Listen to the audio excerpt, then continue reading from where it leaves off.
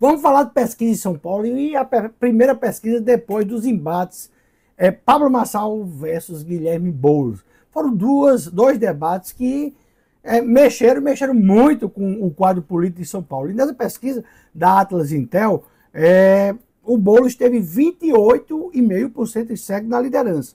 Em segundo lugar, logo atrás, vem o Ricardo Nunes, o atual prefeito, com 21,9%. Ele que tinha é 24,9%. E o Boulos, que tinha 32,7%, agora só tem 28,5%.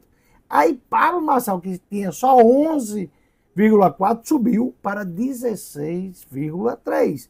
A Tapita Amaral, o Segali no mesmo patamar com 12%, o Datena também no mesmo patamar com 9,5%. Olha, isso aí já demonstra a subida, o elevador do, do, do Pablo Marçal, que pelos números tira voto tanto do Guilherme Boulos como também do Ricardo Nunes. Se você é, observar o que o Guilherme Boulos é, perdeu e o Ricardo Nunes, foi justamente o que o Pablo Marçal ganhou. Então São Paulo aí começa a apertar e vamos ter uma eleição disputadíssima. vou só dizer aqui os dados da pesquisa. 1.803 pessoas foram entrevistadas no dia, entre os dias 15 e 20 de agosto. Né?